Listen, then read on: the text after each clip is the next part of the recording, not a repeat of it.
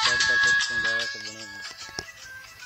ज़्यादा करना हाँ, नहीं कुछ नहीं आपको